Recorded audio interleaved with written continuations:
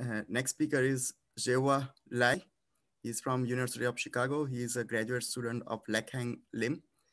Uh, he has recently disproven uh, this interesting conjecture, which has a deep uh, uh, relationship with machine learning. Uh, and he's going to talk about non-commutative arithmetic geometry mean conjecture is false. Okay. Go ahead, thanks. thank you for the introduction. Um, so uh, during the talk, you can just interrupt me uh, any time, and I will uh, in the in the middle of the talk, I will check the chat and see if there is any question in the chat. So, so um, so today I'm going to talk about uh, uh, this paper about uh, non-commutative arithmetic geometric mean conjecture. Uh, let's start from uh, introductions. Uh, so first of all, this question actually comes from the machine learning community. So in machine learning, we usually we want to uh, optimize uh, a function which uh, usually takes this form, which is a empirical risk minimization problem. And so uh, one of the most popular methods is the stochastic gradient descent, which uh, at each step you take one uh, one sample and you you uh, go through the negative gradient direction and try to minimize the objective function. Uh, there's one uh, one choice in this uh, method, which is the, the choice of i. So as you can imagine, we actually have two uh, equally popular ways to choose the sample. Uh, the first one is called sampling with replacement, which is say, which is say that each time we sample i from one to n uniformly and independently. And the second way is uh, sampling without replacement, which is uh, to say that we choose fi from a pool, which is one to n uniformly. And if fi is chosen, then we remove it from a pool and then do the next step. So after n step, we will choose all uh, samples from the pool and then we can uh, restart again. So uh, usually for strongly convex functions, uh, the convergence rate of the second algorithm is better. So usually uh, if the convergence rate of the first algorithm is uh, big O of 1 over t, then the convergence rate of the second algorithm would be big O of uh, 1 over t squared. So there's a, a, big difference between the two algorithms. Uh, now let's consider another algorithms in linear algebra, which is, uh, so in here we want to solve a, a overdetermined linear system, Cx equals to B. Uh, so we have a very large, uh, very large, uh, we have uh, many rows and columns. And so uh, in this case, we want, we actually can do something very similarly to SGD. So we, uh, each step, we randomly select one rows of the, the big matrix C. So we select, for example, CI, and then uh, we just project xk to to a, a orthogonal uh, subspace. So uh, maybe you can see the just see the, the, the second equation. So basically, the case error will be a projection of the uh, of the previous error. So this projection matrix is the uh, orthogonal projector onto the span of uh, the orthogonal space of C, uh, the orthogonal complement of C. So uh, in this algorithm, each step you uh, project the error, so the error is decreasing, and then you can imagine after many iterations, the, the arrow will converge to zero, and you finally successfully solve the equation. And by very easy uh, computations, uh, you don't need to use any ma matrix decomposition. So uh, now there's a conjecture uh, uh, inspired by the, the previous discussion. So as you can see, at each step here, you multiply the error by a matrix. So so we can actually we can we have also two ways to choose uh, CI here. We can choose CI randomly, uniformly, and dependently, or we can choose CI from a pool and uh, sample without replacement.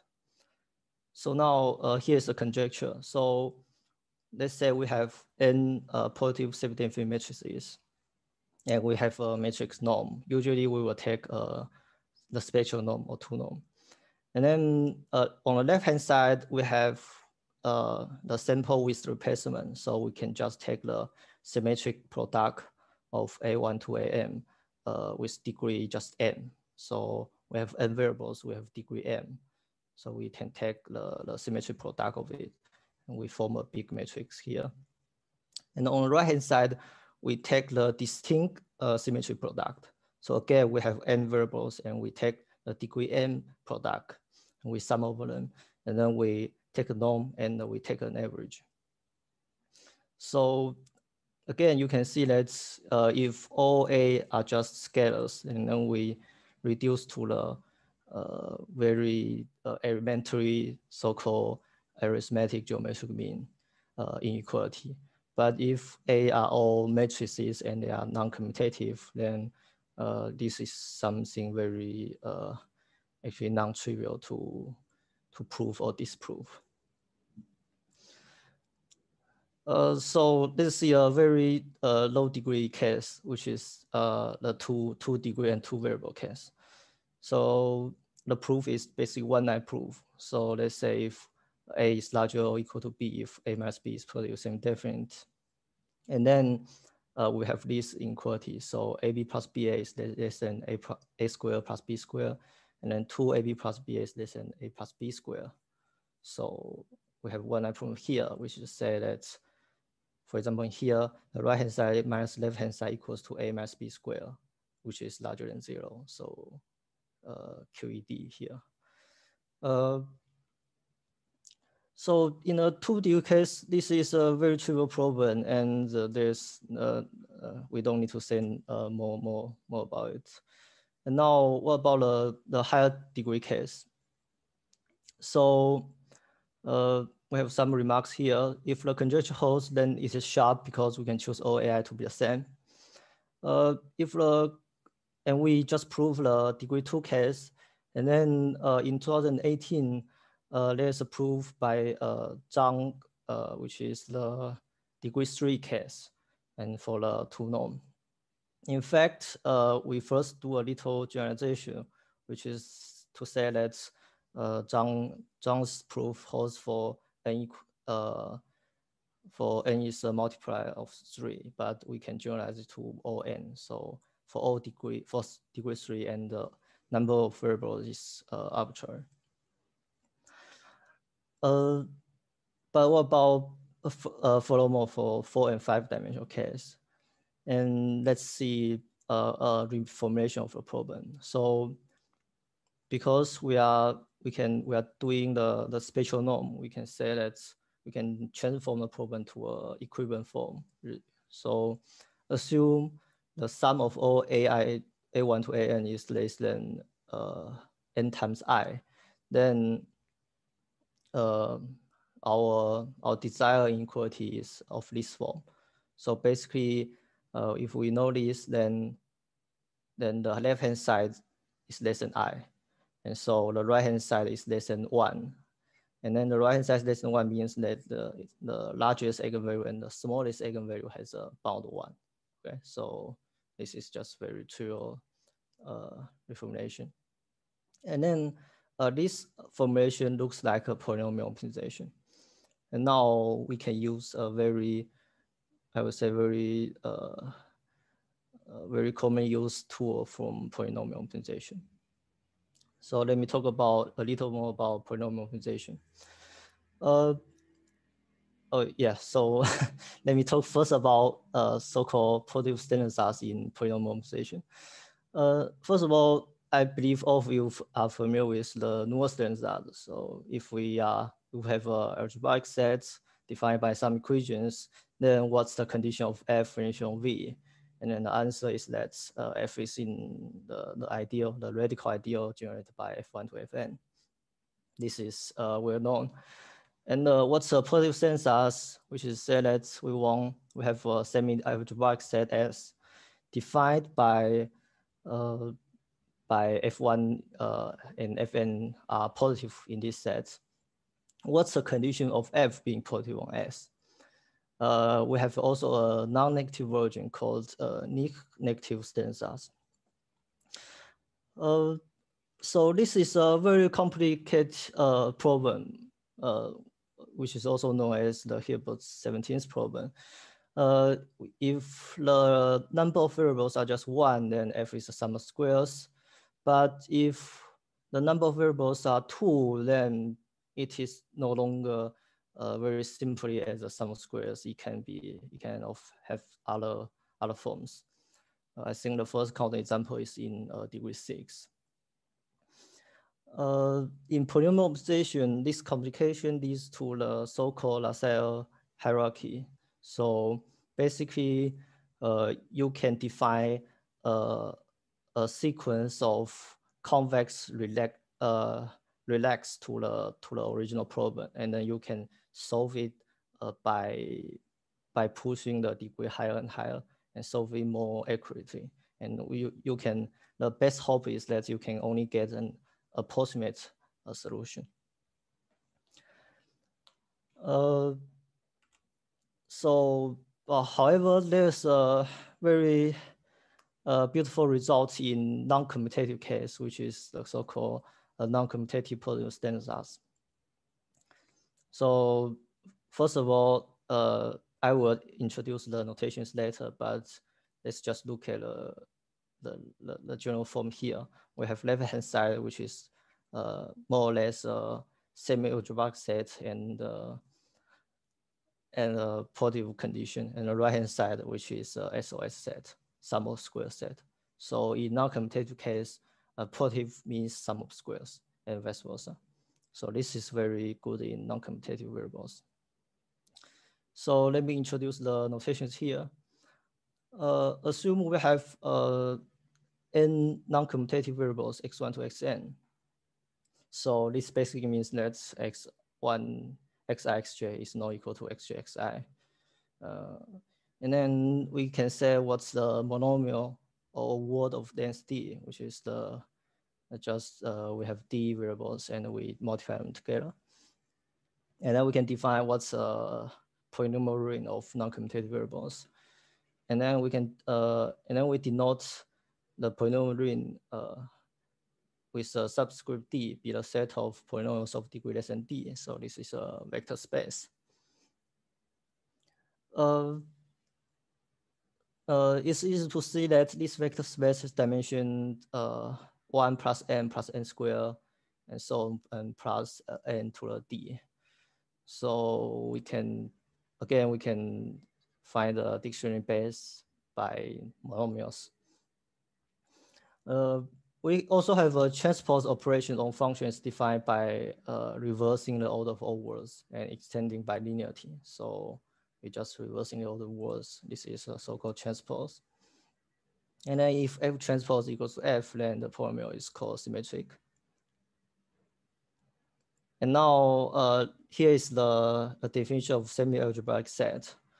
Uh, in here, uh, I the, the theorem only holds for for linear conjoint, or you can extend it a little to the convex conjoint or the, the degree two conjoint. So, but let me, uh, let me use linear conjoint here. So let's say if we have a finite set of linear conjoints L1 to Lk, and then what's the uh, feasible set BL? It is the set of all real symmetric matrices uh, satisfy this constraint. Okay, so this is uh, just straightforward. And let's assume uh, this uh, feasible set has non-empty interior and bounded. Uh, of course, uh, as you will imagine, uh, in optimization, we usually want the feasible set to, to have some regularity as we, Otherwise, a degenerate feasible set we usually we usually don't have any dual or or very good uh, algorithm on it. And so let's just assume it has non-Victorian bounding. And now let's say, uh, let's consider the so-called SOS set, the sum of square set, which is uh, the set of polynomials, uh, which can be written as this form. So in the left, we have Fij transpose. On the middle, we have Li, so the linear conjoint here. On the right, we have Fij. So uh, if we know that Fi is larger than zero, and then for any Fij, the whole term is larger than zero, right? So this is over. So any uh, polynomial in this uh, in this uh, sum of square set uh, is uh, behaves well in the feasible set. Any polynomial in here uh, is is uh, non non-negative in the in this uh, BL. And uh, it's repeat the previous uh, results. So if we have a symmetric polynomial, its degree is less than 2d plus 1, and then assume the feasible set is has non-infinity and bounded. And then it is positive, it is non-negative on the feasible set if and only if it has, uh, it can be written as sum of squares. So the little d uh, shows up here. So Fij has degree of MOSD. Uh, so this is a very good news. And then after this theorem, so this theorem is only proved, I think, in 2012. So it's a relative, I would say, new theorem. Uh, and then our uh, problem immediately uh, gets uh, transformed into another sum of square term. So let's say we have linear conjoints x1 x to xn and uh, n minus x1 to xn. So which just means that we we know in our problem x1 is positive self-definite, uh, and uh, the sum of all xi is less than ni, right? So this is the linear conjoint, and then we want to write our uh, distinct symmetric product as a sum of squares. And I write an additional lambda here, which indicates the, the bounds on the largest and smallest eigenvector. So, so in here, lambda one is the uh, is the largest eigenvector. In here, lambda two is the smallest eigenvector. So, uh, actually, the, the absolute value of the smallest eigenvector. So we want both lambda one and lambda two is less than uh, some some constant. So this constant doesn't really mean much. It's just a, a, a average shown in the in the combinatorial uh, number. And then again, this is all very familiar in polynomial optimization. If we have a sum of squares, we can transform a sum of square into a semi-definite programming. Uh, so let me uh, let me expand this a little bit. So if we are given a, a function f then we can represent f as a scalar vector times the, the base. Okay, so beta is the base of uh, this space. So beta is just one and x1 and x2, and then x1 square and x1, x2, and so on and so on. And so f is uh, is the base times uh, a scalar vector. Uh, uh, sorry, uh, a vector in in just just a real vector. And then so this uh, this sum of squares can be uh, written out. So we say Fij equal to Uij transpose times beta, and then we uh, move Uij to right, and then write is this form. And now the, the quantity here, this sum of Uij, Uij transpose is nothing but the semi-definite matrices. So we call the term in the in this uh, this term as some uh, some matrix. For example, we can call it as uh, di, and then what we got is that trace di times uh, semi-definite matrices. And now the, the final problem is here. If uh, let's say beta is a, a base of uh, this uh, vector space, and let's let's say xn plus one equals to this and then we let number one to be the minimum value of SDP. the SDP is defined as lambda subject to this whole constraint. So in here, this is just a repetition. Uh, this is just a repeat of the previous formulation, and we have y1 to yn is larger than zero. So uh, why this is a, a, a familiar SDP? Um, because the constraints here are all linear. Although it seems not very linear, but it's actually very linear. Uh, as we can see here, all x, xi are just non-commutative variables. They are not any specific matrices. They are just uh, abstract non-commutative variables. So this equation means that two non-commutative polynomials are equal, which means that all their coefficients are equal. So in the left-hand side, we have many coefficients. On the right-hand side, we have many coefficients. And for each coefficient, we get a constraint. So after we combine all the constraints, they are all linear, and we get a linear system. So this SDP is just a minus lambda subject to a linear system and a semi-definite positive constraint. And this is a Fermi SDP. And then uh, let's give our results. So this is a table computed by SDP programming. Uh, let's see, uh, lambda one, number one is the largest eigenvalue, right? Number two is the smallest, uh, the absolute, the absolute value of the smallest eigenvalue.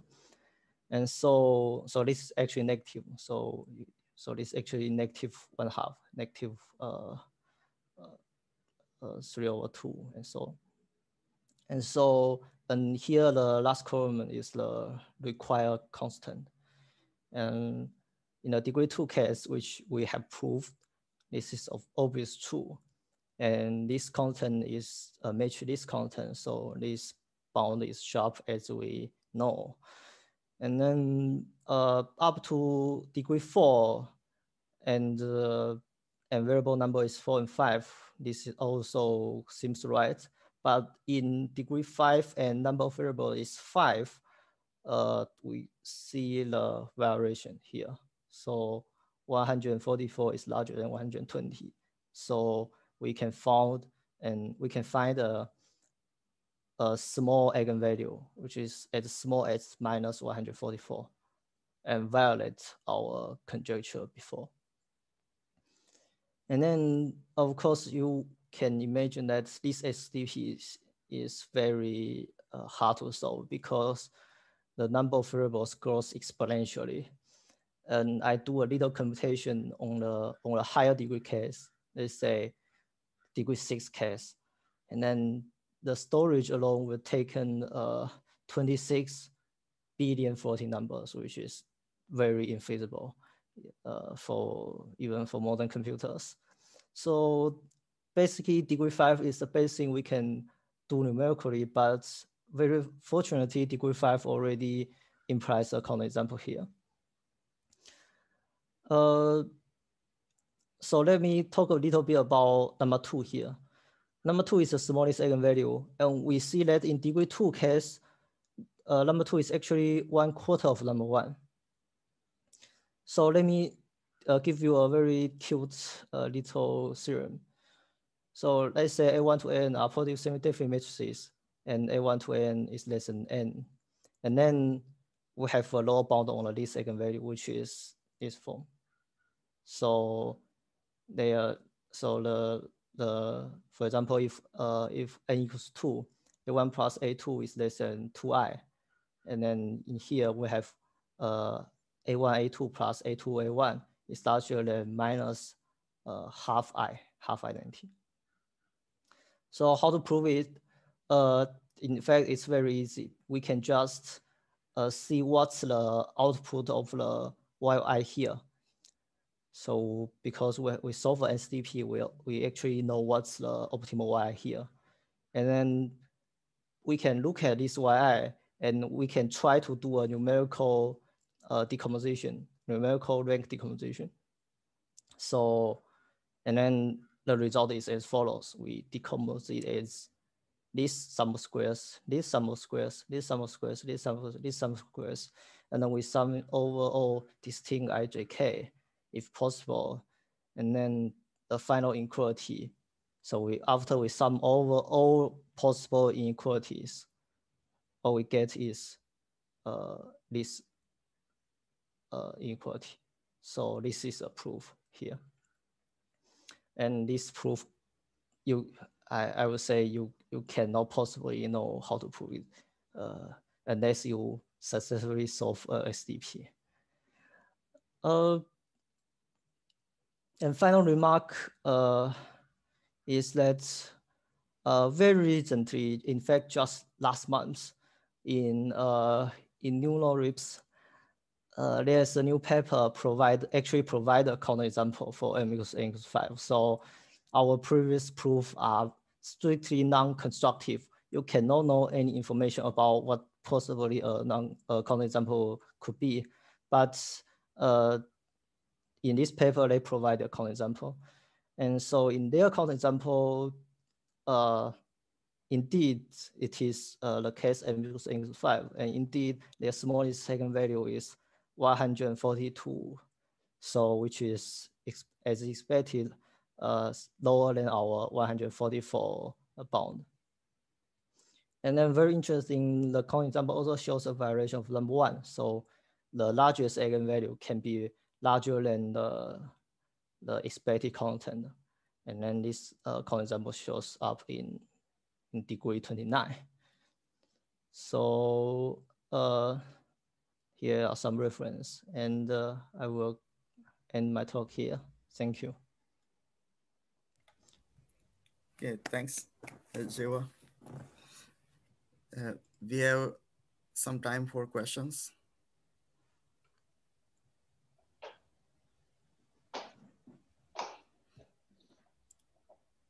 Is there any question for? us? Go ahead. I have a, a question. Um, so, so in the counterexample, you you find in uh, so for m equal five and n five equal five. Yeah. You you solve a SDP problem. Yeah. With some uh, with some tools. So what? So these tools first they are numerical. They provide some approximation. So mm -hmm. can you certify that the, for instance, the optimum, the lambda that you find is a, is the correct one or is within a, a good uh, interval? And can you recover maybe exact uh, exact data, exact uh, value for the variables, which will certify that you have a counterexample? Yeah, yeah. So so as I said, this is the the this SDP form uh, we provide is very non-constructive because um, those uh, x1 to xm are just abstract non-commutative variables. And so if you say that, okay, we want to find a counterexample, for example, satisfy the 144 constraint, and what, we, what you will get is uh, something of this form. We will see that, so let's say we have a SOS decomposition here. Okay, so this is the significant decomposition. And now what's the condition that the equality holds? So the equality holds is actually not equal to zero. It's, it is saying that you have a, a small eigenvalue, which is zero, right? Mm. So in here, we actually don't know much about AJ. We just know that this expression has is degenerate, has is not full rank matrix. That's all we know. So we actually don't know a uh, lot from the SDP. Uh, but but uh, so you use some tools for for solving this uh, for computing this lambda. Yeah, yeah, yeah. So what what what is it? What are what is this tool that you use? Uh, uh semi-definite programming. Yes, uh, some solver. So they they have they do some uh, numerical error on the. Mm. They work within some precision. Oh yeah, a precision problem. Yeah, we actually uh, yeah. So we, we don't have a good way to control the precision of the SDP. So we just know numerically it's it's it's approximate value, but uh, there are no exact SDP solver because all its SDP solver are approximate. Yeah, sure, sure. Yeah, and uh, perhaps it's on it's even a, a NP hard problem. So there's not really a good way to solve exact SDP. And but I would say that uh, from this table, uh, our SDP is quite accurate. I can only say empirically because all the left-hand side match the expect value and the right-hand side uh, is also quite good because we can even prove a M-2 case uh, precisely. And that's all we can say. Okay, thank you.